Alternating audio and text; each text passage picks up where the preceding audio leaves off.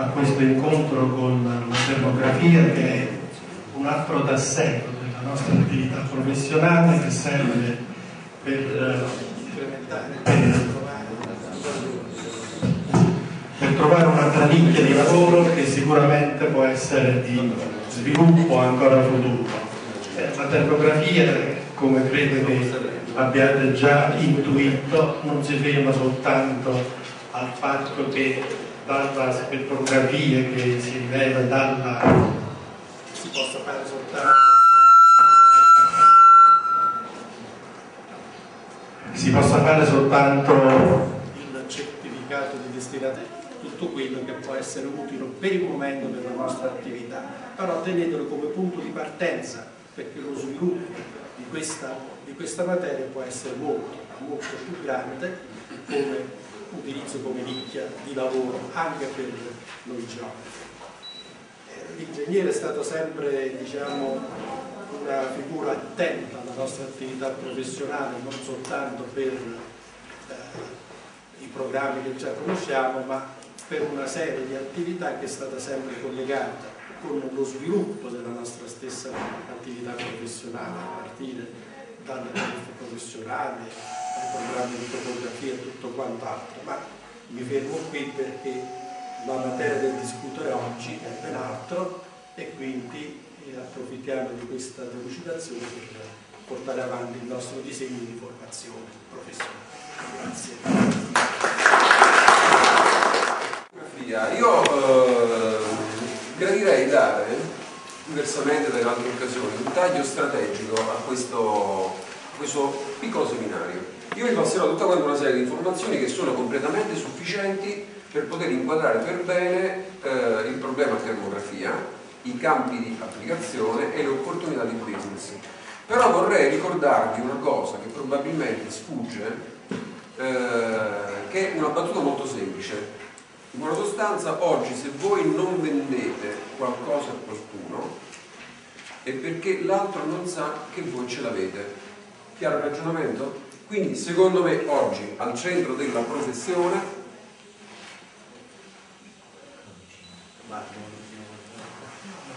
comunicare. Cioè oggi è fondamentale che non perdiate occasione di raccontare al collega, all'impresa, al familiare che voi avete a disposizione una competenza, questa competenza serve a sviluppare relazioni. A differenza di qualche anno fa dove eh, funzionavano quelli che vengono definiti legami forti, per cui il professionista lavorava perché aveva l'amico nella pubblica amministrazione, conosceva il politico, oggi il professionista è esposto a una nuova dinamica che si chiama comportamento speculativo del consumatore. Cioè la vostra professione, il vostro servizio è diventato prodotto quindi il concetto è, eh, caro geometra, quanto mi costa fare questo accatastamento? Quando vi arriva questa domanda potete essere sicuri che un po' prima o un po' dopo la stessa domanda è stata rivolta ad un altro collega. Quindi voi siete esposti al comportamento speculativo del consumatore. Questo oggi è diventato un fatto centrale rispetto a questa situazione, è una situazione che è venuta fuori da poco, perché che cosa è successo? I nostri vecchi clienti in una qualche misura sono usciti fuori dal business. Cioè oggi ci sono nuove generazioni che ottenevano 60 mm, anni, 50 anni, erano i proprietari di case, bisognava vendere, frazionare, eh, ristrutturare, costruire. Oggi a queste persone sono sostituite delle persone che hanno a disposizione i mezzi tecnologici. Oggi tutti quanti vanno su internet, tutti quanti utilizzano il telefonino, tutti quanti fanno la domanda, sì ma quanto mi costa? In sostituzione del legame forte è venuto fuori il legame debole. Quindi oggi il professionista come deve rispondere? Deve rispondere con più professionalità, deve rispondere con più competenze. Perché tenete conto anche di un'altra cosa, oggi non si può fare niente senza l'ausilio del professionista. Vi do un parametro. Nel 2010 il mercato dei servizi di ingegneria in Italia valeva 20.7 miliardi di euro il 17% di questi 20 miliardi di euro ce l'avevano gli ingegneri, il 15% gli architetti, i geometri il 13,7%. Sembrerebbe che i geometri nell'ambito della gestione degli studi professionali, cioè i professionisti indipendenti, non le strutture consorziate. Il professionista autonomo è il comparto che ha retto meglio l'ondata della crisi, ha perso un punto percentuale. Gli altri comparti sono arrivati a perdere il 30%. C'è un fatto, la somma di ingegneri e architetti supera 400.000. I geometri paganti la casa sono circa 80.000, adesso migliaio più, migliaio meno. Se si va ad analizzare la fetta dei servizi che gestisce il professionista geometra, questa fetta dei servizi è di gran lunga superiore ai colleghi architetti oppure ingegneri. Per quale motivo? Perché il geometra sta al centro di dinamiche trasversali. Oggi il geometra ha l'opportunità unica di estendere le proprie opportunità di sviluppare business. Cosa deve fare? Deve semplicemente raccontare in maniera più strutturata che è in grado di sviluppare business, che è in grado di poter sviluppare, implementare tecnologia, che è in grado di accelerare i processi di business. Quindi oggi il geometra diventa, come si può dire, ha una nuova opportunità. Per quale motivo la termografia? La termografia è un comparto che sta salendo a due zeri. Cioè oggi tutto eh, in una qualche misura risente del, della, della, situazione che è sotto gli occhi di tutti, la termografia sta salendo due zeri, ma non è che sta salendo la termografia, sta salendo il comparto del risparmio energetico, perché alla base c'è il risparmio energetico. Quindi la termografia non è la soluzione al problema, la termografia è una delle possibili chiavi di attacco a questo nuovo segmento di opportunità. Cosa vedremo adesso? Adesso vedremo nel dettaglio come funziona la termografia. Paradossalmente le chiavi di lettura della termografia ovviamente partono dalla termodinamica, quindi dovremo riprendere qualche concetto di termodinamica. Sono dei concetti molto semplici, io l'ho semplificato, sono alla portata di tutti, io vi assicuro che quando andrete via da qui sarete in grado di poter impostare e leggere un termogramma, che non è una cosa per tutti. Soltanto una nota di colore, a prescindere dal dato economico, e ci avete poi nelle cartellette, Oggi acquistare una macchina termografica è una cosa alla portata di tutti. Una macchina termografica parte da 995 euro. Ci potete fare praticamente tutto. Questa è già una macchina di categoria professionale ed è acquistabile a 161 euro al mese per darvi un taglio operativo.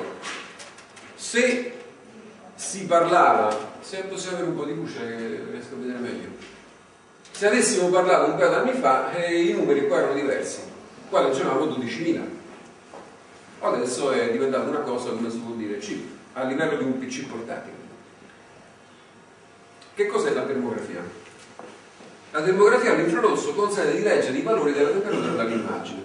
Qualunque oggetto ha una temperatura superiore allo zero assoluto emette radiazione all'infrarosso, invisibile all'occhio umano. Più la temperatura di un oggetto è elevata, maggiori sono le radiazioni IR che emette. In buona sostanza, tutti quanti i corpi ad una temperatura superiore allo zero assoluto emettono radiazione infrarossa. Esiste una legge che è basata sulla capacità di emettere radiazione infrarossa sulla base della temperatura, che si chiama legge di Boltzmann. È un'equazione. Questa equazione è montata all'interno della camera termografica. Cioè, quindi la macchina termografica non, non è in grado di leggere la temperatura, è in grado di calcolare la temperatura sulla base della quantità di informazione IR emessa dall'oggetto. Chiaro il ragionamento? Che cos'è in buona sostanza una termocamera? Bene, una termocamera è un traslatore dallo spettro dell'infrarosso allo spettro del visibile. Questa è una telecamera. Cosa fa una telecamera? Legge la luce, la trasferisce su un supporto e ci consente di poterla osservare. Una termocamera legge le informazioni nella zona dell'infrarosso. Il concetto è questo, l'occhio, il nostro occhio, non è in grado di leggere l'infrarosso. Quindi la termocamera che legge l'infrarosso non ci farebbe vedere queste informazioni a meno che non viene effettuata una traslazione. Chiaro il concetto? Quindi viene captata informazione IR viene traslata nello spettro del visibile come a livelli di grigio oppure a bande di colore. Quindi quando vai a realizzare un termogramma, non necessariamente il termogramma è a colori. Il fatto che il termogramma sia a colori è una questione di convenienza visiva. Avete presente nelle immagini del telegiornale quando ci stanno gli aerei che abbattono i ponti con i missili? Ricordate come è fatta l'immagine? È fatta in bianco e nero? Quella è un'informazione IR Perché non è fatta a colori? Perché disturberebbe la visuale del pilota. Cioè tecnicamente il fatto che noi osserviamo un termogramma è una questione di rappresentazione vederlo a livello di grigio oppure vederlo a colori.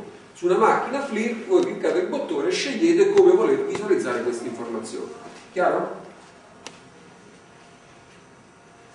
Quando sulla slide compare questo bollino rosso in alto a destra, fateci attenzione perché nell'ora della cartelletta c'è una piccola verifica dell'apprendimento, ci sono 10 domande. Se rispondete a 8 domande correttamente, vi verrà rilasciato un attestato di partecipazione direttamente da FLIR. Loro vogliono vedere se eh, alla fine sono state trasferite queste informazioni. Sono tutte quante domande molto semplici. Qui esiste la domanda e c'è scritta pure la risposta. Bene? Quindi vi chiedo di stare concentrati.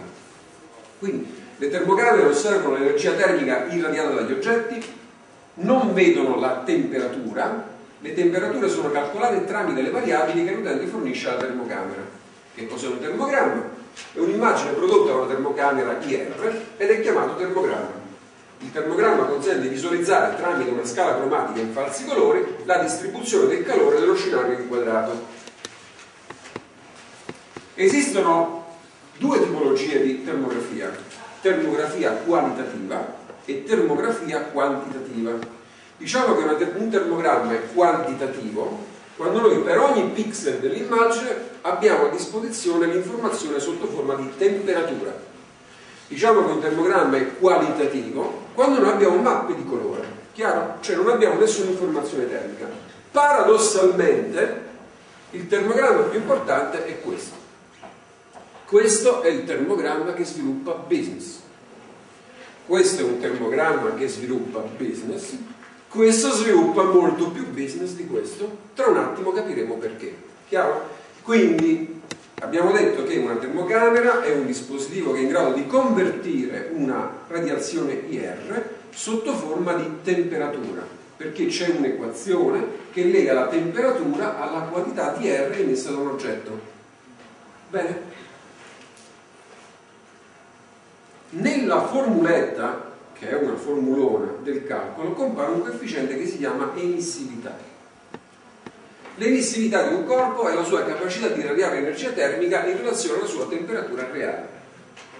Indica in sostanza quanto è efficiente il nostro radiatore termico ed è un numero compreso tra 0 e 1.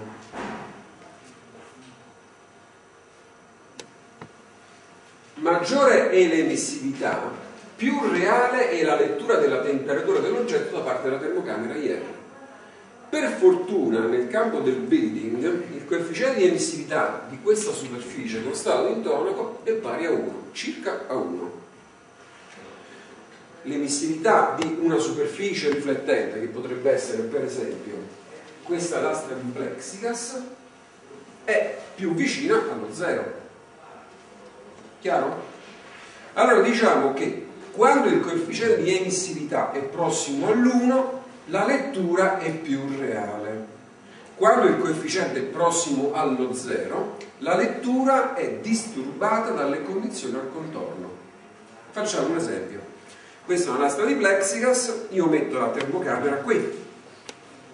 Però questa riflette, se la termocamera ha quest'angolo di incidenza, osserverà una parte del mio riflesso io emetto IR, quindi sono esattamente come una lampadina, questi raggi si riflettono nella parte di vetro e vengono intercettati dalla termocamera, cioè la termocamera rileverà il mio IR.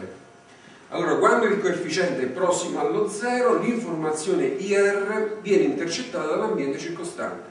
Quando il coefficiente è prossimo all'1, l'informazione dipende esclusivamente dall'oggetto. Chiaro? come si gestisce questo processo sulla termocamera si imposta il coefficiente di emissività c'è una voce di mio che dice vetro superficie di alluminio liscio superficie di alluminio satinato e un coefficiente. Bene? qualche domanda? prego. E questo quando è un singolo materiale. eh, quando è un complesso? Un edificio? Nessuno ha toccato il futuro. Se avete la pazienza di aspettare qualche secondo sì. ci arriverete subito. Un altro parametro importante è la, la, risoluzione in termini di pixel. La risoluzione in termini di pixel è un parametro che ci consente di poter capire quale tipo di termocamera scegliere. Che cos'è? Allora, guardate questa sagoma. È la stessa sagoma che sta qui, ingrandita. Voi volete acquistare una termocamera che vi dà questo scenario, un pixel che prende tutto, oppure un pixel che prende una parte della superficie. Cosa gradireste?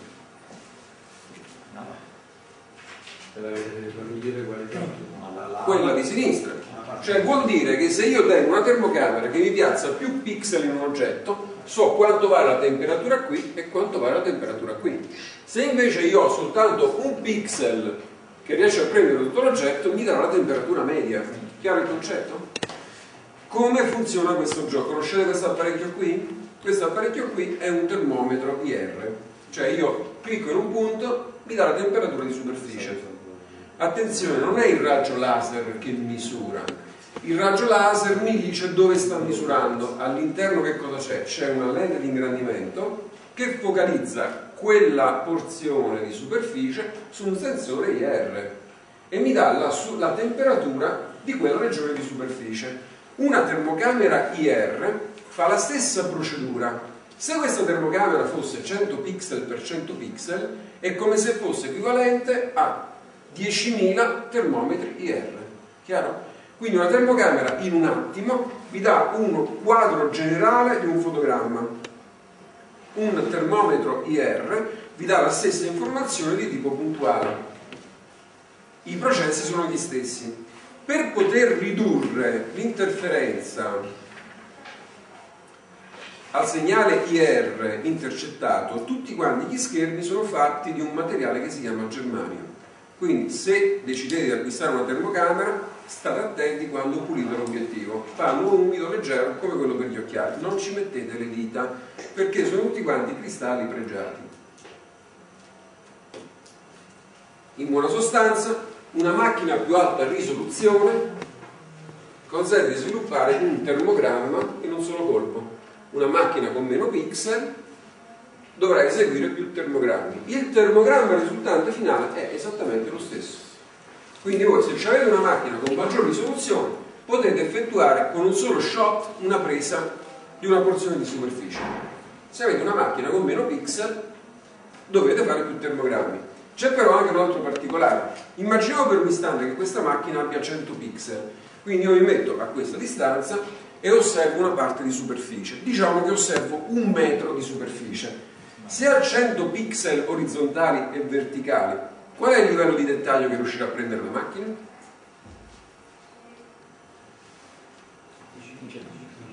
Se la macchina osserva un metro e ha 100 pixel a una determinata distanza, un pixel quanti centimetri vale? Un centimetro, chiaro? Vorrà dire che tutti quanti gli oggetti che hanno un diametro inferiore a un centimetro verranno mediati in un pixel. Allora, se io devo intercettare questo cavetto, questo filo, ci sarà un filo, diciamo una pera, un tubicino che è 7 mm, probabilmente io non lo vedrò.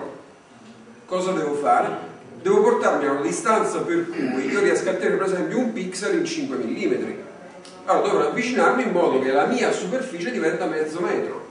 Chiaro il concetto del pixel? Allora quando voi acquistate una termocamera dovete pensare, ok, che cosa osserverò? Quale sarà l'impatto del termogramma che io devo analizzare? Qual è il livello di dettaglio che devo poter intercettare? E già iniziamo a capire come dobbiamo regolarci quando scegliamo la risoluzione in termini di pixel. Tra un attimo vedremo dei casi pratici di applicazione. Quindi risoluzione più elevata, maggiore distanza. Un altro parametro che influenza la macchina, il termogramma, è la sensibilità in termini di temperatura. Quando voi scegliete un datasheet dovete dare priorità tutta quanta una serie di informazioni, ma in maniera prioritaria due, numero di pixel che ha la macchina e sensibilità sotto forma di temperatura, cioè qual è il gap minimo di temperatura che è in grado di leggere una macchina termografica. Che cosa vuol dire? Facciamo un esempio rapidamente, così iniziamo a vedere una macchina termografica in funzione. questa è una macchina di tipo professionale quindi va bene nel settore del building macchina molto sensibile macchina con alta risoluzione. Obiettivo intercambiabile. Allora se adesso io faccio questa operazione a terra con il tacco della scarpa che è di gomma, faccio questo, e osservo il termogramma, un attimo che la sta completando, lo memorizzo, si capisce? Cosa è successo? Ho strisciato il tacco a terra, c'è stato il trip, è aumentata la temperatura, di quanto? Di pochissimo, e la macchina l'ha intercettata, è chiaro? Di quanto è aumentata? Abbiamo dato una frazione di grado. Quindi avere una macchina molto sensibile vi consente di poter apprezzare delle variazioni molto basse di temperatura. Arriviamo tra un attimo all'importanza strategica di poter realizzare intervalli di temperatura modesti. Chiaro il concetto?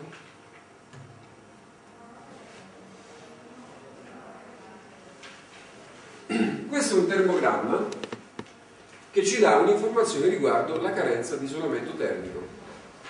Più è chiaro, maggiore è la dispersione. Un colore chiaro è associato ad una temperatura più alta, un colore scuro a una temperatura più bassa. Che sia colore o bianco e nero non cambia niente. La domanda che vi faccio, e ci iniziamo a ricollegare alla domanda del collega, è questo è un diagramma, è un termogramma qualitativo o quantitativo? Qualitativo, non abbiamo nessuna informazione termica, abbiamo anche un altro tipo di problema. Chi riesce a individuarlo rapidamente? Eh, la luce interna delle finestre che No, non è un problema di luce. La, la, la, termocamera non vede luce, la termocamera vede niente. Perché se vedesse luce di là della finestra. Io non ho il valore che c'è della finestra puro ma il valore che mi viene fuori dal riscaldamento della casa. Risposta buona. Risposta buona il concetto è questo presumibilmente la superficie è vitrea. Qui la superficie è rugosa. Quindi siamo in presenza di un termogramma qualitativo che inquadra due superfici con diverso coefficiente di emissività. Se la macchina fosse tarata su un coefficiente di emissività pari a 1, l'informazione termica in termini di temperatura qui sarebbe coerente con la tabellina che ci dà la macchina. Viceversa, se io devo osservare, se io ho bisogno di informazione termica di superficie su una superficie vitrea, io devo impostare sulla macchina il coefficiente di emissività per una superficie vitrea. Però noi possiamo dire abbastanza agevolmente che qui abbiamo in questa regione le informazioni non ci interessano perché noi siamo interessati a questa regione quindi il programma è coerente perché quello che noi stiamo ricercando è una dispersione in una regione di cui presumiamo di stimare ragionevolmente, ragionevolmente bene il coefficiente di emissività prossimo all'1 prossimo all'1 allora io posso dire dal punto di vista qualitativo senti questo d'avanzato funziona meglio di questo d'avanzato che ci hai messo? Oppure che cosa non ti hanno messo per avere questa situazione? Dal punto di vista poi quantitativo è possibile fare delle elaborazioni per sapere quanto costa questo e quanto costa questo. Chiaro? Ci arriviamo tra un attimo. Una botola sul soffitto non isolata termicamente. Allora, per poter comprendere questo concetto, noi abbiamo creato una sorta di piccolo esercizio. Se adesso io sviluppo il termogramma di questa scatola di cartone, vediamo che cosa succede. Avvicino la macchina, la punto sulla scatola,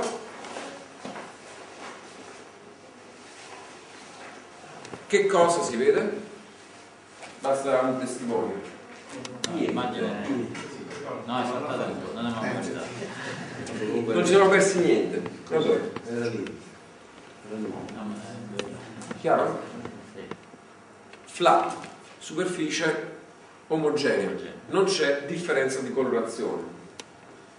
Il mio coefficiente è impostato coerentemente, io lo appunto qui e dico guarda la temperatura superficiale, clicco il laser qui, vale 15.8 gradi. Quanto è precisa? È molto precisa, molto precisa. Potete essere sicuri che là vale 15.8 gradi. C'è un dettaglio. La temperatura all'interno di questa scatola, quant'è?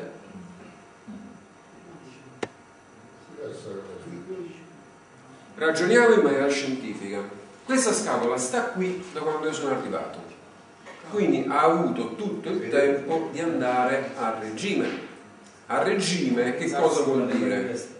Allora, ipotizziamo noi abbiamo un bel contenitore. Cioè abbiamo due contenitori. Uno è pieno d'acqua, l'altro è vuoto, con un tubicino a livello di vaso intercomunicante, giusto? Se apri il rubinetto, che succede? C'è un travaso, i due liquidi si bilanciano dopo una situazione transitoria. A regime raggiungono lo stesso livello. Quello che accade per la temperatura accade pure per i fluidi, è uguale. Ok? Quindi possiamo dire che la temperatura all'interno è la stessa. Ci siete? Adesso cosa faccio? Ci siamo portati un foro industriale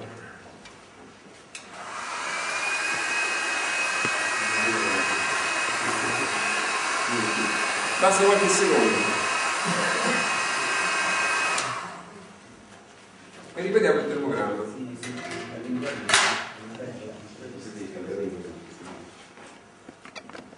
diamo qualche secondo. Che si vede? che si vede? Dovete ragionare in maniera scientifica? Che si vede? Cioè proprio la figura che si vede qual è? Riuscite a vedere? cerchi concetto giusto? i vari passaggi che Chiaro? Allora, come si legge questo processo? Noi avevamo una situazione a regime, bene? Quindi equilibrio termodinamico. Dal punto di vista operativo T con 2 è uguale a T con 1. Ci siete? Cosa abbiamo fatto? Abbiamo indotto uno shock termico, cioè gli abbiamo mandato un'onda termica. Dovete immaginare che è partita un'onda termica che ha investito la superficie. Come si è comportata l'onda termica? Ha attraversato gli strati e che cosa ha incontrato? Immaginiamo di discretizzare questo pannello esattamente con i pixel della termocamera. Cioè se la termocamera avesse 100 pixel e questa scatola è larga 30 cm, vuol dire che un pixel vale 3 mm, giusto? Quindi immaginiamola 3 mm per 3 mm discretizzata. Per che profondità? Beh, possiamo ipotizzare all'incirca 10 mm. Come sono fatti i 10 mm? Sono fatti da 2 mm di cartone e 8 mm d'aria in questo pixel. Mano a mano che arrivo sul tubo di PVC troverò 2 mm di cartone e 8 mm di PVC. Ci siete? Quindi possiamo dire che millimetro quadrato per millimetro quadrato per la profondità la trasmittanza è diversa. Giusto? Quindi dove la trasmittanza è più bassa passa meno calore. Dove la trasmittanza è più alta passa più calore. Ma se passa più calore, che cosa succede alla superficie di contatto? Si riscalda o si raffredda? si raffredda. Si raffredda prima. Perché cosa ho fatto io? Ho inviato un'onda termica, l'onda termica ha impattato, era una situazione T con 2 uguale a T con 1, e ho aumentato T con 2 c'è stato un flusso entrante. Millimetro per millimetro ha reagito secondo la trasmittanza di quella piccola sezione. Dove la trasmittanza era più elevata, si è raffreddato prima perché è passato prima il calore all'interno. Quindi. Meno resistenza. Chiaro? Quindi trasmittanza elevata, resistenza più bassa, perché uno è l'inverso dell'altro, con la conducibilità. Allora possiamo dire che il nostro strato cartone più aria resiste meglio dello strato cartone più PVC. Chiaro? Ci siamo messi all'interno di uno strato che si chiama termogramma attivo, cioè noi abbiamo condizionato il termogramma, il sistema, chiedo scusa, il sistema, per fare in modo da eccitarlo e rilevare con un termogramma il suo stato. Allora la chiave di lettura non c'entra niente con la, termo, con la termografia, c'entra con la termodinamica. Quindi noi abbiamo una chiave di lettura che è basata sulla trasmittanza. Allora noi abbiamo letto il termogramma sulla base di informazioni connesse alla trasmittanza. Chiaro il concetto? Allora, quando adesso, adesso voi iniziate ad avere tutte quante le informazioni per interpretare correttamente questo termogramma che è qualitativo o quantitativo? Quantitativo. Perché avete qui una leggenda e ovviamente il software è legato che vi dice qui quanto va la temperatura, qui quanto va la temperatura. È coerente il termogramma? Cioè, coerente vuol dire ogni pixel è coerente con l'informazione di temperatura? Sì, perché riteniamo che siano tutte quante superfici dello stesso materiale, quindi il termogramma è coerente, giusto? Se questo qua era un pezzetto di vetro, potevamo dire che era coerente dappertutto tranne che sul vetro. In questo caso un termogramma quantitativo coerente. Come leggiamo questa situazione? La superficie è la stessa, quindi noi qua applichiamo il concetto della trasmittanza. Vuol dire che in questa regione abbiamo un pacchetto di isolamento che ha una trasmittanza diversa da questo pacchetto di isolamento, giusto? Questa, questo isolamento è meglio o è peggio? È peggio, perché conduce meglio, chiaro? Ovviamente il concetto di meglio e peggio dipende dall'ambiente. Il concetto è se noi vogliamo blindarci nel riscaldamento, questo non è buono. Ma se questa qui invece fosse una situazione del tipo noi vogliamo gestire meglio il refrigeramento, questa non è buona, è chiaro? Quindi dipende da quello che stiamo facendo, è chiaro il concetto? Quindi noi possiamo dire che in questa regione non ci sta isolamento. Riusciamo a vedere in profondità? Certo che riusciamo a vedere in profondità. Adesso io non so questo qua che se è cartongesso oppure se è un pilastro di cemento. Questo è il cemento. Noi possiamo fare un termogramma, ovviamente non vedremo niente. Cosa dobbiamo fare? Lo eccitiamo con un'onda termica con il fono e facciamo il termogramma e vediamo quanti ferri ci stanno Riusciamo a vedere anche la sezione del ferro? Benissimo, se tengo una macchina con più pixel riesco a sapere quant'è il mio ferro, il ferro che sta all'interno. Quanto riesco ad andare in profondità? Riesco ad andare in profondità in relazione ad un altro parametro che si chiama trasmittanza periodica. Cos'è la trasmittanza periodica? Immaginiamo per un istante che questo qua è il nostro blocchetto, è la nostra superficie di isolamento. Bene? Allora, supponiamo di avere questo blocco, noi abbiamo scelto come professionisti un blocco isolante, cioè questo sandwich che è fatto da intonaco, calce, pannello di polistirene, eccetera, eccetera, ha questo spessore. Dietro questa stanza, questa è la mia parete, dietro questa stanza io dormo. Da questa parte batte il sole. Quando arriva il sole, diciamo alle 9 del mattino, se questo blocco ha una buona resistenza, quindi bassa trasmittanza, però ha poca massa, quindi poco denso, io diciamo dopo un'ora e mezza rileverò all'interno l'aumento per esempio di un grado di temperatura. Vorrà dire che se io il sole arriva alle 9, io alle 10 e mezza alle 11 devo attaccare il condizionatore.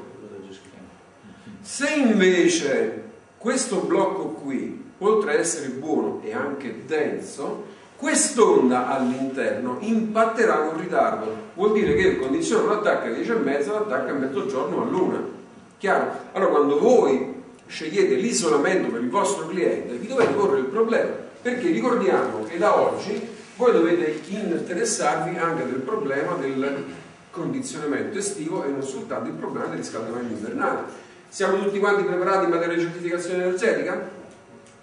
facciamo un ripasso veloce? Sapete qual è la definizione di edificio di nuova costruzione? Esatto. Allora, tutto quanto quello che è stato realizzato, di cui è stato ottenuto permesso a costruire lì, eccetera, eccetera, dopo ottobre 2005, viene definito edificio di nuova costruzione. Per tutti gli edifici di nuova costruzione voi siete obbligati a progettare ai sensi delle leggi sul risparmio energetico. Per le ristrutturazioni, se superate il 20% di volumetria dell'involucro dell'edificio, dovete su questo 20% in più ragionare in termini di risparmio energetico. Questo è in buona sostanza. L'abbiamo semplificata proprio al limite. Come si va a progettare i sensi della legge? Beh, bisogna prendere tutta una serie di parametri e rispettarli. Quando si parla di riscaldamento invernale, il vostro elemento di riferimento è la zona climatica e la trasmittanza di muri, soffitti, pareti, infissi, eccetera, eccetera. Quando si parla di condizionamento estivo, dovete tener conto di trasmittanza periodica, cioè come si comporta per il condizionamento, per il raffrescamento. Sono due parametri. Poi eventualmente lo possiamo proprio, Gennaro non lo vedo, Vabbè, comunque se ritenete possiamo fare un seminario specifico su come si fanno questi conti per stare a regime. Facciamo un passo avanti. Allora, ponti termici. Sapete cos'è un ponte termico?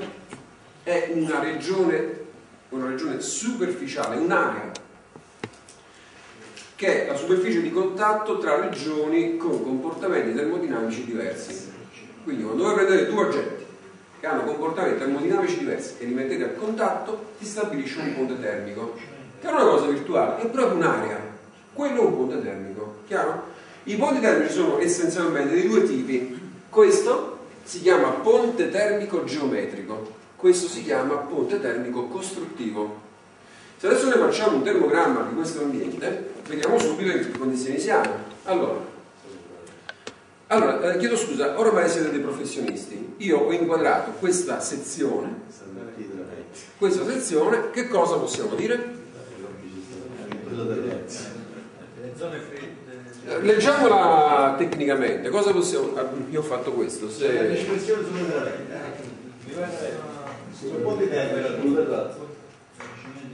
Si capisce? Adesso oramai siamo degli esperti, no? Come possiamo dire? Come la leggiamo questa situazione? Ci sono dei voti verdi sulle tracce, quindi una dispersione. Eh, però poi ci sta un'altra situazione interessante.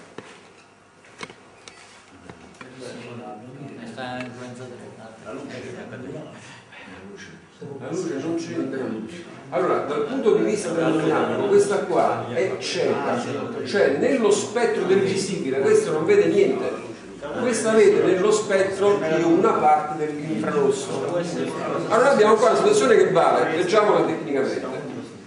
Leggiamo tecnicamente. Mi dispiace, non abbiamo il cavetto di connessione, ma del resto non è manco possibile. Se io metto qui, io leggo questo, anzitutto il termogramma qualitativo quantitativo? Quantitativo, ho un'informazione certa, la macchina adesso sto leggendo, io se mi sposto il cursore, sono le temperature Vedete qui la temperatura vale 14.7, in questo punto vale la bellezza di 18.9. Il calore del... C'è qualche isolamento? Noi non vediamo non lo sappiamo, oltre, noi leggiamo un termogramma. Questo termogramma ci dà un'informazione, ci dice questa regione qui vale 19 gradi, a fianco vale 14 gradi, sono 4-5 gradi di differenza. È una quantità enorme il termogramma è quantitativo, la superficie è regolare, quindi l'informazione è certa, cioè significa che io posso gestire un contenzioso, perché su questa informazione voi potete fare una relazione di supporto a un contenzioso. Allora io leggo qui, qua qualcuno ci sta facendo un piacere, cioè quello del piano di sopra, là ci tiene il calorifero, ma se tiene il calorifero in questo punto, che cosa possiamo dedurre? Che qua probabilmente ci sta un tramezzo ma se qua ci sta un tramezzo, qua, che ci doveva stare? Sono delle considerazioni, giusto? Prima considerazione. Seconda considerazione. Sì, io vedo questa cosa qui, però io vedo pure questa cosa qui. Vuol dire non esiste nessun isolamento tra solari. Significa che chi riscalda di più sovvenziona a quello che riscalda di meno.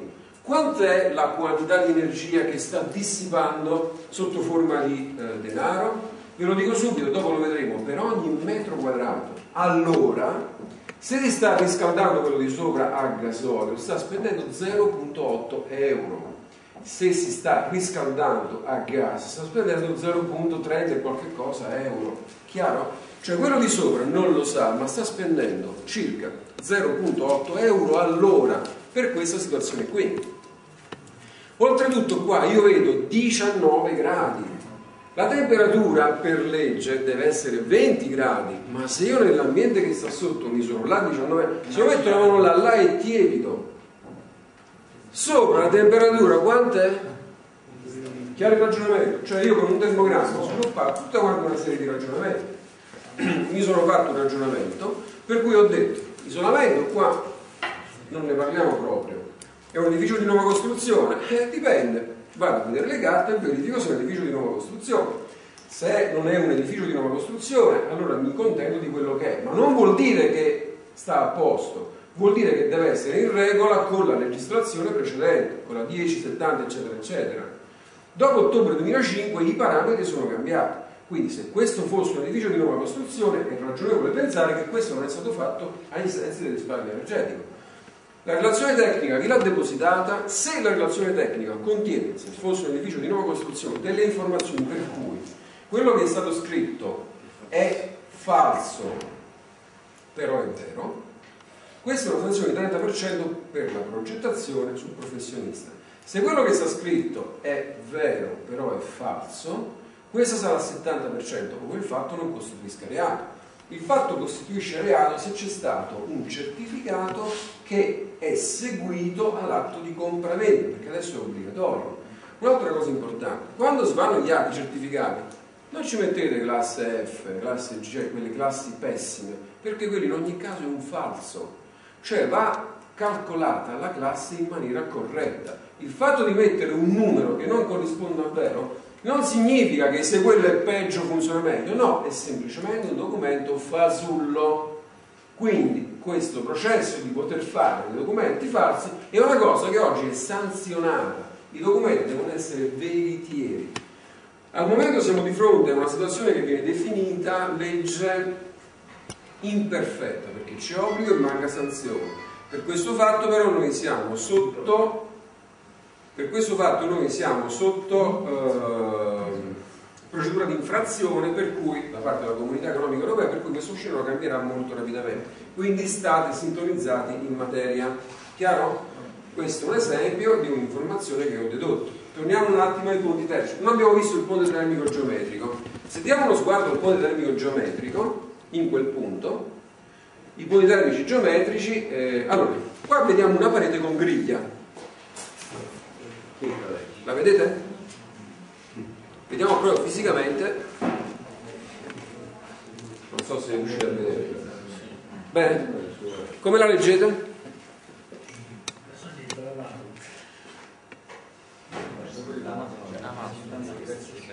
C'è una trasmittanza diversa, quindi la chiave di lettura è sempre la trasmittanza. Ci siete? Sì?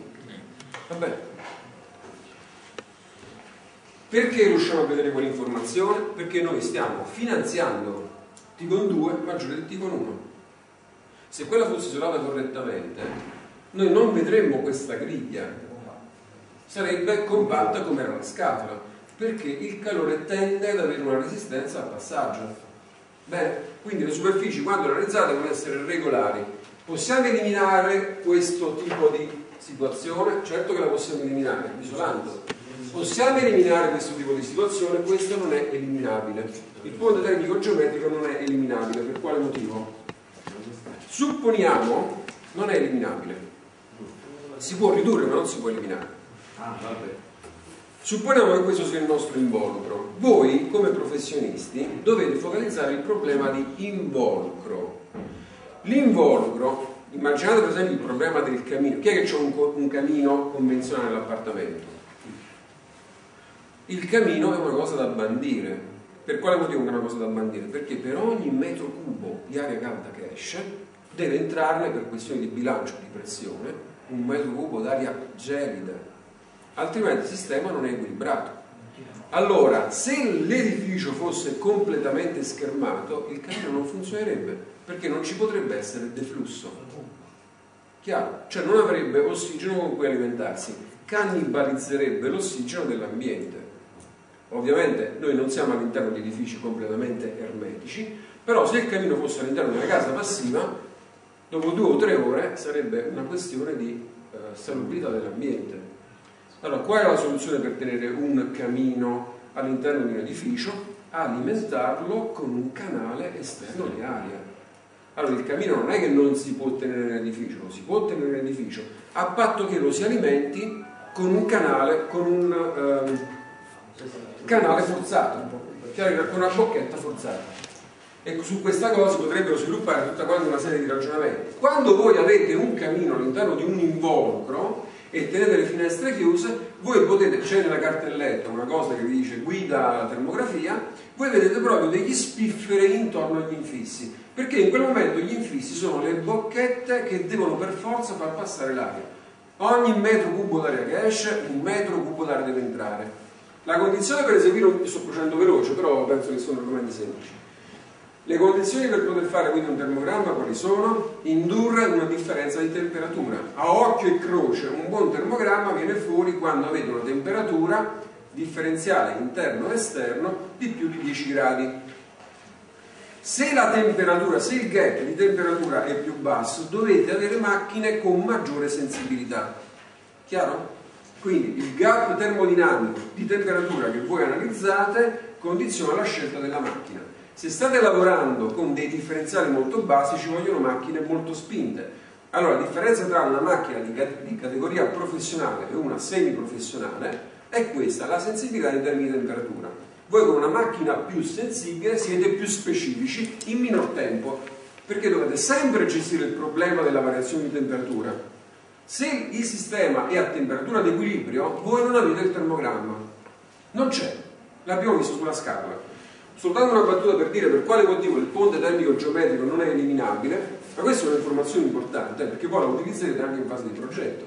Immaginiamo che questo qua sia il nostro involucro la superficie interna è maggiore o minore della superficie esterna immaginiamo che sia vuoto, non ci sono tre mezzi quindi avete una scatolotta un garage la superficie interna di tinteggiatura è maggiore o minore di quella esterna? la superficie interna è minore, giusto? vuol dire che quando T con 2 è maggiore di T con 1 il calore fluisce per ogni centimetro quadrato però noi abbiamo una superficie interna che è minore della superficie esterna dovuta a che cosa? agli angoli cioè negli angoli voi è come se aveste un centimetro in ingresso e due centimetri in uscita. Avete presente? No? Perché il perimetro dell'anello interno della pista da corsa è inferiore al perimetro esterno.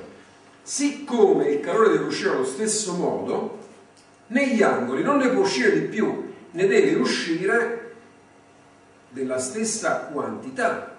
E questo lo può ottenere il sistema soltanto se si abbassa la temperatura in quel punto. Cioè noi abbiamo qui un ponte termico geometrico perché per questioni di equilibrio termodinamico la temperatura deve essere più bassa perché se la temperatura fosse più alta uscirebbe più calore perché schiada di più nell'angolo. Siccome questo non può avvenire, il sistema abbassa la temperatura. È chiaro? Quindi domani potete eliminare il ponte termico geometrico, no, non ci potete fare niente. Quando andate a fare un termogramma e viene fuori il ponte termico geometrico, il collega che tiene il termogramma dice sta sviluppando il condensatore dice no là c'è un ponte termico no là non c'è un ponte termico costruttivo quello è un ponte termico geometrico ovviamente dipende da quanto è esteso perché se isola da mare è un ponte termico se isola da bene è un ponticino chiaro il ragionamento? Però questo non è indicativo di una cattiva qualità di costruzione. È una questione fisica. Se poi ci vedete anche le travettature e ci vedete la griglia qua delle tabelle eh, sta inguaiato per questo, ma non sta inguaiato per questo. Cioè, come si può dire, i due mani vanno, vanno sempre a braccetto. Un'altra informazione importante, quando avete un aggetto, l'aggetto va isolato all'esterno, perché l'aggetto, sempre per questioni di equilibrio termodinamico, se voi vedete è il vostro involucro e qua avete un aggetto, perché ci sta una menzolina eccetera eccetera, un balcone o semplicemente una menzolina, sempre per questioni di termodinamica, questa mensola aspirerà calore dall'interno proiettandolo fuori come un dissipatore. Maggiore la superficie di esposizione, maggiore è la quantità di calore risucchiato all'interno. Un aggetto va sempre isolato, anche se insiste per 10 cm di sezione, l'aggetto va isolato. Non isolarlo significa che voi state dicendo all'aggetto toglimi il calore dall'interno. Quanto vi costa? vi costa per ogni 5 gradi di differenza 0.8 euro se vi state riscaldando a gasolio. Ha il ragionamento? Il vostro oggetto è un metro, è 6 metri lungo, sono 6 metri quadrati, questo coso costa 6 euro all'ora. Cioè uno che sta combinato così ha una bolletta energetica di riscaldamento di 8-900 euro al mese. E oltretutto, per il fatto che esiste un flusso, lui non percepirà nessuna sensazione di benessere. Dice, ma io tengo riscaldamento, però se stai un attimo fermo tieni sempre dei flussi che vicino al camino fate mente locale state seduti così vicino al camino qua bolle da quest'altra parte è gelo perché? perché avete un flusso entrante che qua vi raffresca il motivo è questo. Vi siete stancati? no. Ora arriviamo subito alle domande così vediamo se allora termogramma qualitativo o quantitativo? quantitativo. Coerente o non coerente? non coerente. Perché c'è un pezzo di vetro. Però a noi di questa cosa non ci interessa perché se non ci fossero spifferi e ci sono spifferi io vedrei differenti colorazioni ma non differenze di colorazione a parità di superficie possiamo dire che quell'infisso spiffera ci siete? Sì infiltrazioni di umidità, aria, prende il capelli, qua lo beccate subito con la termocamera. Se c'è uno spiffero di un flusso entrante o uscente lo intercettate subito. Questa è una bella domanda. Siamo in inverno, problema di riscaldamento invernale, non di condizionamento estivo, tengo questo termogramma. Qui sono montati degli infissi basso emissivi in male un infisso basso emissivo è un infisso che ha un verso di montaggio. Il lato interno deve essere interno e l'esterno deve essere esterno. Chiaro? La domanda è quali sono gli infissi montati male? Prego? Quelli scuri. Quelli scuri o quelli chiari? Cioè l'infisso montato male, quello scuro o quello chiaro? Mi dovete dire quello scuro, però mi dovete dire pure perché. Noi stiamo dall'esterno. Noi stiamo dall'esterno Sviluppate un ragionamento.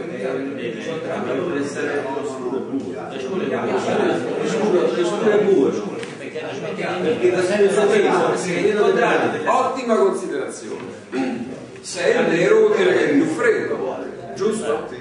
Se è chiaro vuol dire che è più caldo, ma se è più caldo vuol dire che io sto sovvenzionando l'infisso. Chiaro il ragionamento? Termogramma qualitativo o quantitativo? Non mi interessa perché qua io ho l'informazione, chiaro? Vabbè, queste sono delle caratteristiche della termocamera. Un inciso, FLIR ha il 70% del mercato globale. FLIR, la macchina FLIR, il 70% del mercato globale. Gli oggetti che stanno montati sui Tomahawk, i missili militari, cioè, sono tutti quanti sezioni FLIR. Una macchina FLIR è una macchina che ha 10 anni di garanzia sul sensore è una macchina, è una macchina che costa di più ma vale enormemente di più rispetto ai competitori cinesi e tutto quello che resto. Quindi è sicuramente una macchina, oggi è il top di quello che sta in circolazione. Tre o quattro mesi fa sulle frontiere italiane hanno montato sensori FLIR per intercettare chi oltrepassa le frontiere, cioè è una tecnologia molto consolidata. Vabbè, eh, riscaldamento al pavimento, a questo punto avete tutti quanti gli elementi per poter capire questo termogramma come funziona, giusto? Se c'è un embolo lo visualizzate subito, quindi potete in maniera specifica, ok, il guasto sta lì. Questo vale anche per i termosifoni di nuova generazione. Funziona bene il termosifone, eh, va fatto il termogramma. Cioè oggi quando si monta in un nuovo edificio, uno di quei bei termosifoni design eccetera eccetera, è buona norma fare il termogramma per ogni termosifone. E noi l'abbiamo vissuto là da noi dove siamo l'ufficio a Viavini c'è un amico che tiene questi cose bellissimi tra le termogramma. Oltretutto mi chiese vieni un attimo a vedere con la macchina termografica. Io erano tre giorni che stavo svuotando bolletare eccetera eccetera. No là c'è stata un'ostruzione su dieci apparecchi tre erano con l'embolo proprio meccanico strutturale hanno dovuto cambiare, non ci si poteva fare niente, la ditta ha riconosciuto il problema. Prima non c'era verso, no, sono delle bolle, problemi d'aria, battere con il martello per far camminare perché sono a sezioni molto sottili. Perdite dell'impianto. Per esempio questo potrebbe essere anche il caso di questo qua, di solo, per dire no, però avremmo visto poi la macchina. Quindi qua questa è una situazione dove ci stanno facendo un piacere importante. Il collegio di giovani sarà grado una parte dovrebbe contribuire in termini condominiali però vale anche il contrario. Bisogna vedere eh, devo dire che qua non è che siamo proprio in condizioni ma,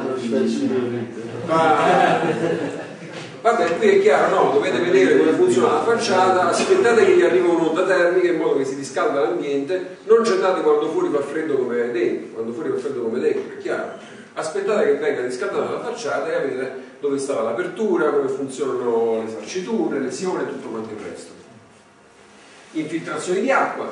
Per quale motivo? Vediamo le infiltrazioni d'acqua. Ditemelo voi, ditemelo rapidamente perché non ho capito che siete dei professionisti come un vuoto termico in effetti l'acqua bagna, scugna, vale il coefficiente per igroscopia, vale il coefficiente, vale la trasmittanza, superficie regione più umida, trasmittanza più, più elevata, vuol dire che nella zona dove ci sta umidità è più freddo se stiamo in una condizione di riscaldamento invernale, viceversa estivo c'è una perdita di un tubo di gronda. Vedete subito qual è la zona e qual è il punto di perdita della gronda. Perché c'è umidità. Acqua infiltrata sotto la guaina isolante stesso ragionamento. In questo caso i colori sono invertiti perché giù fa più caldo qua trasmette meglio e quindi la superficie è più calda. È chiaro il ragionamento? Sono dei concetti molto semplici. Questa è una bella domanda. Distacco di intonaco. Siamo in una condizione di riscaldamento, perché il problema è, siamo in una condizione di raffrescamento o riscaldamento, condizione di riscaldamento invernale. Qual è, quali sono le regioni interessate dal distacco? quelle più chiare o quelle più scure? Mi dovete dire perché? È semplice, è sempre molto semplice. No, sono quelle più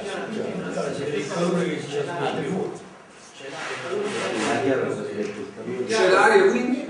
C'è l'aria quindi si è riscaldata l'aria dietro. C'è l'aria quindi, pensate se mi indagini la spazzatura. E quindi rileva la temperatura è minore perché l'aria fa desolante.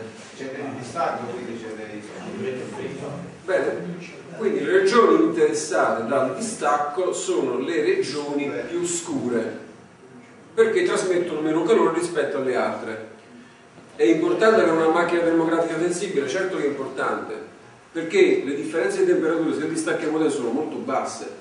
Allora con una macchina per esempio da impiantista, quella 900 euro, queste informazioni non le leggete, perché un differenziale dovreste eccitare il sistema all'interno, portarlo a 28-30 gradi, diventa anche complicato. Un esempio di, di differenza di macchina professionale e quella. Quando la differenza di temperatura è elevata non si vedono. No, come immagino, non si potrebbe vedere per, per rendersi conto. È uguale. Ah, è uguale. Cioè un termogramma è pressoché lo stesso. Ovviamente prendendo una macchina con più risoluzione è più definita l'informazione, però quando la differenza di temperatura è alta è la stessa cosa. Il problema lo si gioca sui dettagli. Immaginate per esempio che c'è un'infiltrazione d'acqua per uno che tiene il bagno sopra. Che fate? Ci butterete dentro un, sacco, un secchio d'acqua eh, a 60-70 gradi. Quindi c'è una piccola infiltrazione, però l'acqua entrerà, cioè se entro un fiume c'è poca fermata, ovvio. Però se c'è un'infiltrazione capillare con una macchina sensibile la vedete meglio prima. C'è un problema di risoluzione di livello di dettaglio. Eh, formiche, le vediamo le formiche? Certo che le vediamo, perché le vediamo le formiche? Perché hanno un metabolismo, se hanno un metabolismo vuol dire che riscaldano. Tutto quanto quello che produce riscalda, esatto.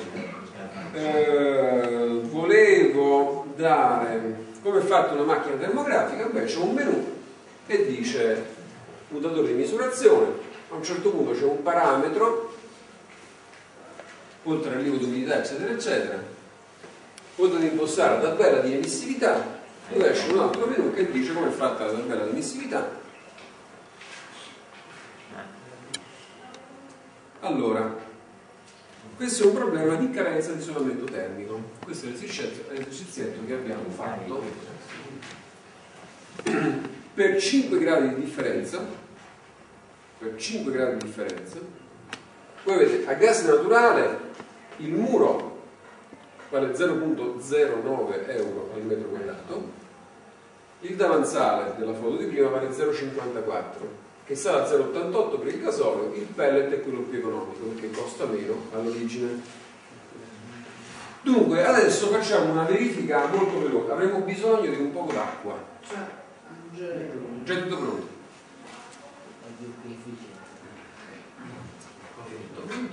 Sta già dentro. Dobbiamo soltanto mettere in funzione. Siamo sull'optional. Allora, chi è che si sottopone al test?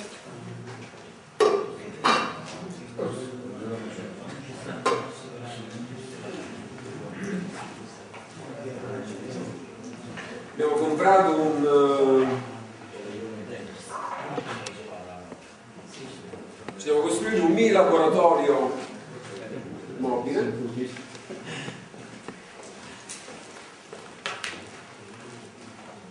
Comunque fa freddo, eh. Anche sta andando.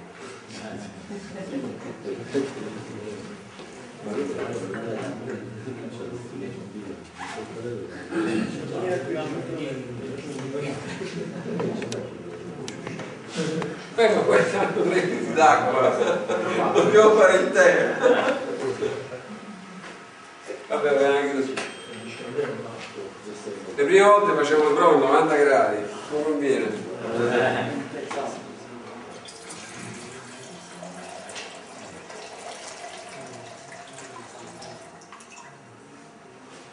Vabbè, voi due siete esclusi perché già ho visto che siete preparati.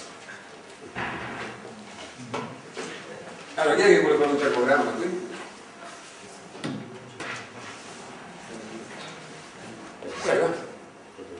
Allora, chi fa il termogramma e per piacere lo commentiamo. Eh, ma così stiamo sparando. Usa il laser per puntare. Qual è questo sotto? Quello giallo. Per memorizzarla? Allora, come devo mandare? Prego. Allora, Allora, non so se è riuscito a vedere. Diciamo nella parte inferiore del bicchiere sopra, nella parte nera è la- l'immagine più chiara e mano a mano che si ah, allontana... ma questo è un termogramma da salumiere. Io voglio una cosa scientifica. Eh, no, stavo commentando la foto e chi non la No, ma tu vedeva. adesso sei un esperto, allora mi devi dare una spiegazione. Allora, l'acqua calda è messa nel bicchiere, eh, sta trasmettendo calore verso la parete del bicchiere e diciamo essendo la fascetta nera, il nero ehm, assorbente, a- a- Sotto un attimo, forza. c'è più dispersione sulla fascia nera, è più calda. Forza, un'altra. Chi interviene?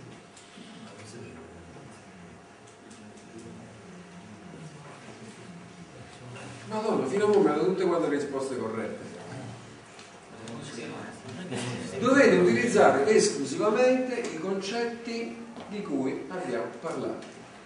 Per commentare questo non c'è bisogno di niente altro. Questi sono tre concetti sono.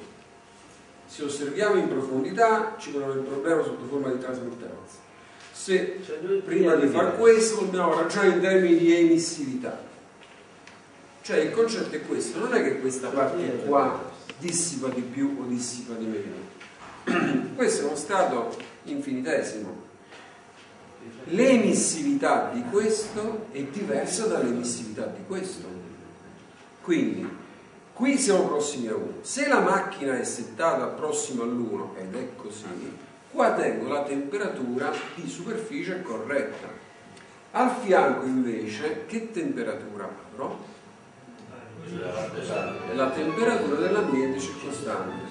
Allora, se io misuro qui, so che vale, sarà 40 gradi, quanto vale? 47 circa. 47. Al fianco quanto vale? 22. 22. Perché presumibilmente sono io vicino. Adesso se tu vedi, probabilmente si vede qualche variazione, penso io, probabilmente. Un po', è il minimo diciamo il... Perché in questo caso è preponderante il comportamento all'interno, però la temperatura qua è veramente 47 gradi. Cioè se io tocco qui è tiepido, se io tocco qui è tiepido lo stesso. Qua le temperature sono identiche. Se io utilizzo un termometro a contatto puntuale, mi darà la stessa temperatura qui, cioè mi darà la temperatura qui e qui, identica. Quindi è condizionato È condizionato dall'emissività. Quindi se io devo fare un'analisi termica, io mi imposto il coefficiente di emissività pari alla superficie che sto osservando. Al fianco io non ci posso fare niente. Se adesso io qui dietro, cioè qui davanti, ci metto questo, che succede? diventa tutto come quello a destra. Esattamente, cioè in questo caso il comportamento di questo corpo non influenza questa cosa perché questa è influenzata dall'ambiente circostante. Adesso se io lo inclino, presumibilmente io vedrò la mia immagine termica, giusto? Perché io sto emettendo IR, si riflette, l'ho messo con un angolo di deviazione, no? Giusto?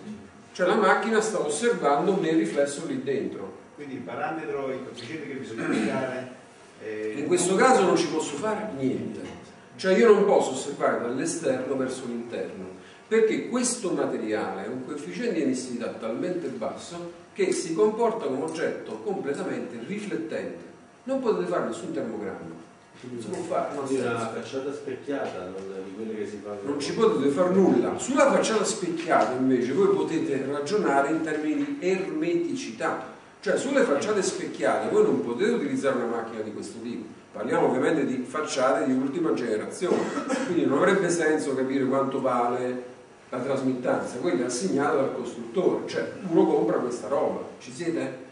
Però potete ragionare in termini di permeabilità a una differenza di pressione, cioè il sistema all'interno, immaginate per esempio no, che dentro il sistema è riscaldato. Se non è ermetico, raccontatemi che succede. Immaginiamo che, facciamo un'ipotesi, questo è il nostro ambiente, viene riscaldato. Qui ci sta un lucernario per far entrare la luce del sole, giusto? Come ragionate? Se è aperto, non è chiuso hermeticamente. Chiuso, è chiuso. Chiuso, lasciamo, togliamo la mezzo la parola ermetico, Sì. perché se tutto fosse a posto non vi chiamano. È chiuso, È chiuso, vi hanno fatto una situazione, l'hanno venduto così, adesso vi chiamano a fare un'indagine. Che ci andate? Andate così? No, andate con una macchina termografica. Cosa andate ad analizzare? Sviluppate il ragionamento. Sviluppate il ragionamento. Allora, il ragionamento da sviluppare è questo. Voi ragionate in termini di tenuta ermetica. Voi volete assicurarvi che il vostro lucernario abbia una tenuta ermetica. Come fate? Andate all'esterno e fate il termogramma. Non mi interessa il qualitativo quantitativo. Se tutto funziona bene, non ci devono essere sbavature termiche. Ci siete? Se esistono sbavature termiche vuol dire che il sistema non è a tenuta ermetica, ma se non è a tenuta ermetica vuol dire che un aumento di temperatura genera una sovrappressione. Se c'è una sovrappressione vuol dire che sopra l'aria farà forza per uscire, ma se l'aria esce che deve succedere per questione di equilibrio? Deve entrare altra aria, è chiaro? Allora, il problema di avere la tenuta ermetica di un involucro garantisce che non ci sia per fenomeni di sovrappressione immissione di aria fredda. È chiaro il ragionamento? Allora, termocamera, chiudo, chiudo e poi riprendiamo un attimo il problema del protocollo Itaca perché stava in agenda. C'è il caffè che il collegio ci ha cortesemente messo a disposizione. Quindi gli ambiti di ragionamento sono diversi. Cosa bisogna sapere? Bisogna sapere come funzionano determinati processi, perché probabilmente io credo che la maggior parte di noi, che la maggior parte di noi al problema del camino non ci aveva mai riflettuto, ma il camino è un buco nero dal punto di vista della contribuzione. Basta mettere un sistema convogliato vicino al camino e il camino cambia le sorti del gioco. Però il problema del camino non è il problema del camino, è il problema della sovrappressione interna che voi dovete gestire. Se allora cosa, cosa succede? Quando vi chiamano a dire senti, questi non mi riscaldo, voi dovete fare un termogramma di tutto l'involucro. Dove ci dovrebbe essere tenuta, dovete garantirvi che ci sia tenuta, perché per sovrappressione uscirà dell'aria. Se esce aria, entra aria fredda. Primo punto. Perché possono essere anche buoni dal punto di vista della qualità di isolamento, ma se spiffera non avete risolto niente, perché in questo caso non vi castiga il parametro progettuale, vi castiga il parametro costruttivo. quindi sono diverse le considerazioni che entrano in campo. Stiamo parlando di un edificio di nuova costruzione che doveva garantirvi, perché c'è un altro piccolo dettaglio. Quando voi fate un ACE, un ACE voi, voi garantite un edificio con un consumo a metro quadrato secondo riscaldamento estivo, eh, condizione affrescamento, eccetera, eccetera. Lì c'è un parametro che dice questo edificio quanto consumerà a metro quadrato durante il periodo di riscaldamento invernale se è un ACE prima del 2009, del 2010. È chiaro? Là c'è un numerino che dice questo edificio consuma 40 kW metro quadrato orari per anno. Se quello che ha comprato fa la moltiplicazione e scrive quanto costa un metro quadrato con questo combustibile, lui ha già preprogrammato quando deve spendere il riscaldamento invernale. Se non si trova con questa situazione, l'ACE non è buono. È chiaro? Se l'ACE non è buono, vuol dire, siccome questo edificio è stato garantito con quella performance termica, il concetto di nullità dell'atto, per quanto non sancito dalla legge in materia di risparmio energetico, però può essere ricostruito attraverso il diritto civile. Per questo motivo al nord i tribunali sono completamente intasati di contenziosi. È chiaro? Cioè un attestato di certificazione energetica dice cosa costa riscaldare per metro quadrato, 95 kW, 120 kW. Mettete dentro il costo a kilowatt e sapete quanto costa il metro quadrato. Moltiplicate per il numero di metri quadrati dell'involucro e sapete cosa costa il riscaldamento invernale. Voi state garantendo quello. Quindi il concetto di dire io spendo quattro soldi non è un concetto per fare l'ACE, non è un concetto che trova un riscontro. Come vi giocate questo fatto? Questo è un fatto che vi dovete giocare purtroppo da un punto di vista strategico. Bisogna farli in maniera economicamente conveniente, però bisogna farli bene. Questa oggi è la differenza. Chiaro? Cosa potete fare con la termocamera? Potete fare una maniera di cose. Migliorare i rapporti con le imprese, offrire servizi alle imprese. Quanto costa fare un termogramma con le imprese? Non costa niente, un termogramma è una cosa che non costa nulla. Quello che costa è il valore di relazione che voi stabilite con la persona a cui fate il termogramma. L'impresa non costa niente, però l'impresa non viene da voi soltanto per il termogramma. Se gli date supporto, l'impresa va trovando il professionista, progettazione, direzione del lavoro, analisi del costo. Oggi tutto funziona secondo i parametri del comportamento speculativo. Il concetto di dire sì, oggi bisogna costruire energeticamente, questo sarebbe nella nostra mente, però il mercato non la pensa così. Non è detto che il mercato scelga per il fatto che quello è un edificio economicamente conveniente, perché probabilmente la priorità di chi sta comprando è il costo al metro quadrato. Non si è ancora focalizzato dal punto di vista collettivo quanto è importante avere un'economia sul risparmio energetico. Adesso che la corrente sta salendo, come se nel gas e tutto quanto il resto, il problema diventerà di colpo una priorità e si inizierà a piangere con le lacrime di coccodrillo. Per cui, per esempio, all'interno dei condomini, tutti quanti oggi sono specialisti. Sapete no, nei condomini sono avvocati, conoscono il diritto civile, le persone normali vanno su internet. Oggi esiste un livello di consapevolezza diffusa. Allora, accordi quadro con i condomini, screening di supporto, fee molto bassi, 200 euro all'anno, 300 euro all'anno, due chiamate, tre chiamate, perché un termogramma è una cosa economicamente sostenibile. Però quando c'è un problema di termografia vuol dire che c'è un problema di intervento.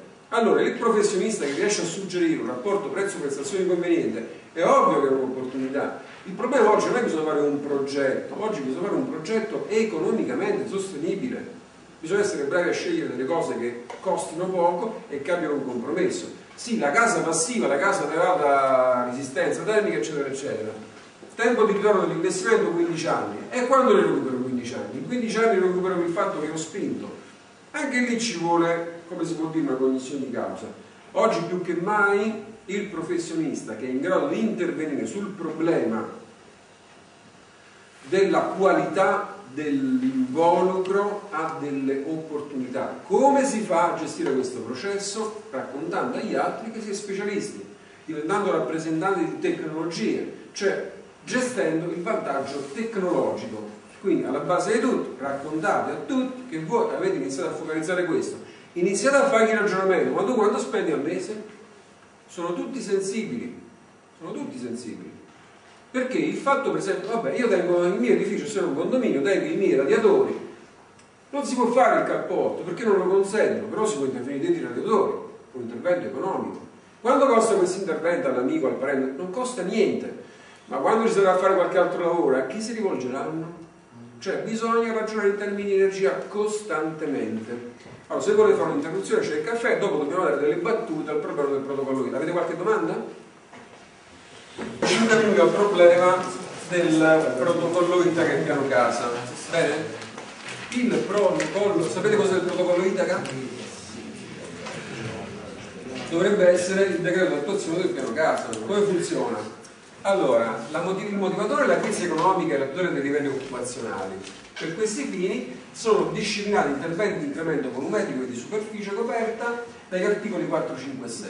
Interventi di qualificazione delle aree urbane degradate, articolo 7, con procedure eh, amministrative semplificate. Io lo sto semplificando proprio eh, da un punto di vista del, del consumo veloce che cosa vuol dire? Il protocollo è il sistema per poter attuare quelle che sono le disposizioni del piano casa, perché il piano casa introduce un concetto che si chiama, che è definito moneta urbanistica, cioè in buona sostanza, in buona sostanza il sistema, cioè lo Stato, concede, eroga delle concessioni in cambio di utilizzando una moneta urbanistica. Io consento una variazione delle destinazioni d'uso o delle volumetrie a condizione che tu mi dai un indice di miglioramento dal punto di vista energetico. Quindi tutti quanti i parametri che hanno a che fare con il protocollo Itaca sono parametri funzionali a stimare la, la qualità del miglioramento. È chiaro? Quindi il sistema, lo Stato dice, ok, tu puoi ampliare, puoi modificare, puoi ristrutturare, puoi variare la destinazione d'uso, se mi garantisci un livello di miglioramento pari a 1.5, 2, 2.5. Questo numerino è il numerino che viene fuori dai parametri che vengono inseriti all'interno di un foglio di, cal di calcolo protocollo Itaca. Sono stato chiaro? Dal punto di vista operativo, l'articolo 456 che eh, riguardano edifici residenziali oppure rurali, cosa consentono? Con vincolo di almeno il 70% ad uso abitativo se in zona residenziale, almeno il 50% ad uso abitativo se in zona agricola, blocco destinazione d'uso per 5 anni, questi sono i vincoli, utilizzo di tecniche di costruzione con criteri di ecosostenibilità, limite massimo, limite massimo pari a 1500 metri cubi e 3 piani fuori terra, con questi vincoli è consentito questo intervento incremento volumetrico fino al 20% per l'edificio esistente in corso di realizzazione, incremento volumetrico fino al 35% in caso di demolizione e ricostruzione, cambio di destinazione d'uso fino al 20% della volumetria. Allora, attesi che i vincoli sono quelli, quello che si può fare è quello. È chiaro? Chiaro lo schemino? Purtroppo a luglio, pieno casa, finisce. Finisce stanno, diciamo, le lobby, tra virgolette, stanno spingendo in questo senso. Dopo vi do anche qualche dato numerico su quello che riguarda proprio um, qual è stato l'impatto uh, di questo tipo di processo. Per edifici non residenziali invece, superficie massima non superiore a 500 metri quadri, sagome e prospetti devono rimanere invariati, non è possibile dare origine a unità immobiliari successivamente frazionabili, realizzazione di opere interne finalizzate all'utilizzo di volumi esistenti anche con cambio di destinazione d'uso. Bene, questo è disciplinato dall'articolo 7. Dal punto di vista eh, del, dire, del, livello di uso di questa opportunità, in testa il Veneto con 21, questo è un dato a eh, circa metà anno scorso. Veneto circa 21.000 domande, Sardegna 5.000 domande, Marche 600 domande, Lombardia 232 domande, Campania non classificata. Si imputa questo tipo di anomalia a due fattori. Uno è un problema di comunicazione, l'altro invece a una cosa che è stata individuata da uno studio che si chiama indice di modernità. Cioè si è avuto una maggiore... Eh, adesso il dato sociale, questo, lasciamo stare i commenti che ci sono dietro, analizziamo il problema da un punto di vista ingegneristico. Lo Stato oggi è questo, 22.000 domande lì, 232 domande lì Oltre al motivo della comunicazione, il motivo che sta alla base diciamo, dell'inquadramento sociale è questo, una cosa che si chiama indice di modernità, cioè hanno risposto meglio le regioni con maggior indice di modernità. Sono studi pubblicati. L'indice di modernità però non significa le macchine e le tecnologie, è una cosa un po' più complicata che ha a che fare proprio con un questionario che è stato pubblicato dalla Bottoni che si chiama stima dell'indice di modernità. Sarebbe interessante provare anche a utilizzarlo da noi. Come funziona il protocollo Itaca? Il protocollo Itaca, allora questo qui è in sintesi il piano casa, quindi eh, ricordatevi articolo 4, 5 e 6, articolo 7 per infrastrutturazione. Eh, I limiti da applicare sono quelli che ho menzionato sinteticamente, quello che si può fare, se volete rivederlo, di massimo tre piani, cioè lo specchietto epilogativo dovrebbe essere questo.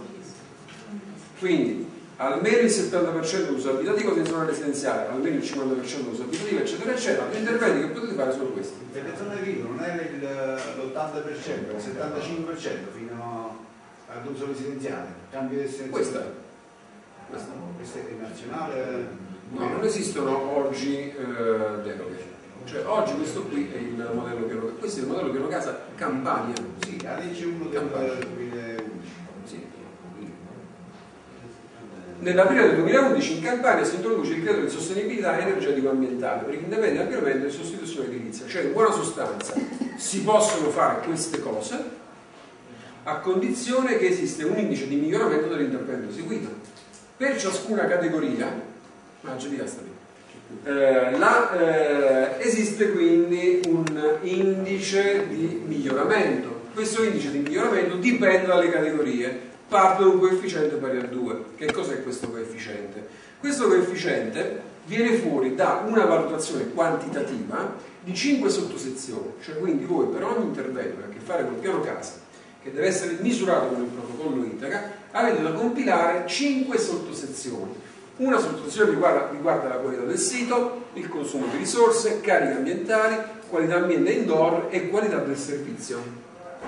Ciascuna di queste sezioni è quotata con dei pesi numerici, quindi sulla base dei valori che voi imputate avrete un indice medio pesato per ciascuna sottosezione. Il numero complessivo risultante da questa valutazione del protocollo Itaca deve essere superiore a 2 per la maggior parte degli interventi.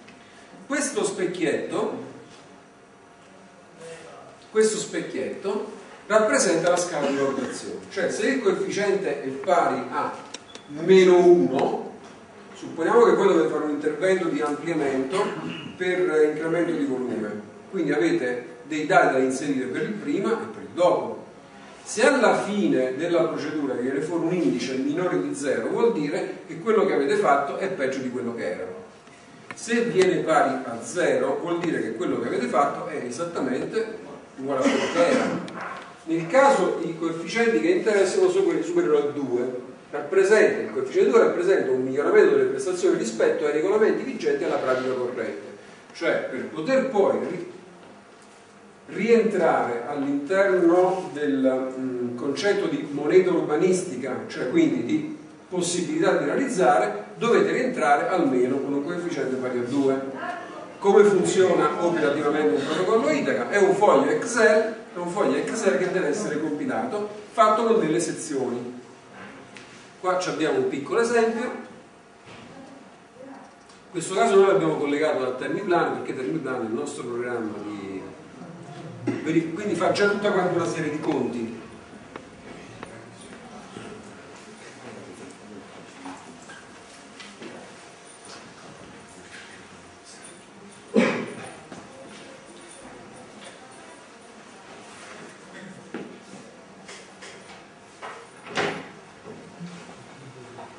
Allora, ci sono dati relativi al progetto, quindi l'edificio, il committente, diciamo la scheda di tipo anagrafico, la scheda 112 è, riguarda la zona urbanizzata per l'uso del suolo, quindi bisogna inserire dei parametri per selezionare la scala di prestazione, zona urbanizzata per consumo del suolo, zona bassa urbanizzata, sono dei coefficienti che bisogna spuntare. quindi negativo, sufficiente, buono, ottimo, cioè vuol dire che per ogni sottomissione voi dovete pesare, fare uno screening di quello che è lo stato dell'edificio e della zona. La scheda per esempio 242 è l'acqua potabile per uso indoor, volume di acqua potabile risparmiato per uso indoor, che viene fuori da un calcoletto, numero abitanti previsti per l'edificio, eccetera, eccetera. Cioè in buona sostanza dovete compilare tutte quante queste schede. Lo potete fare utilizzando o il foglio Excel che è disponibile gratuitamente a tutti quanti, andando a mettere questi valori dentro e facendo però anche i conti per quello che riguarda il fabbisogno energetico dell'edificio. Per poter calcolare il fabbisogno energetico dell'edificio c'è poco da fare, dovete fare dei conti con uno dei programmi certificati, perché la stima del fabbisogno energetico oggi in Italia la si può fare soltanto utilizzando programmi certificati vi faccio un po' di pubblicità, lo potete fare anche con Terminal, però ci sono anche altri ottimi programmi in altri casi concorrenti, così non facciamo un torto a nessuno. Se poi siete bravi, tutti quanti questi conti li potete fare a mano. Se poi siete come me, che non ricorda neanche come si fanno le divisioni a due cifre, allora siete nominati. Detto questo, alla fine voi produrrete un, uh, un foglio di calcolo Excel di cui dovete stampare quattro copie e verrà fuori un foglio di calcolo esattamente come questo. Una di queste caselle è il punteggio, in questo caso 1.31 è il coefficiente che è venuto fuori dai che messo su quell'edificio. Con 1.31 non potete andare da nessuna parte, vuol dire che voi dovete tornare sul vostro edificio, sui parametri urbanistici non potete fare niente perché quelli sono, dovete migliorare i vostri parametri di risposta dell'involucro dal punto di vista energetico per poter fare questo prego? per arrivare a 2 sì. due, due e mezzo due o superiori bene? avete qualche domanda? dobbiamo andare perché abbiamo le macchine dovete andare ok io avrei completato. Grazie per la vostra attenzione. Mi auguro di essere stato sufficientemente sintetico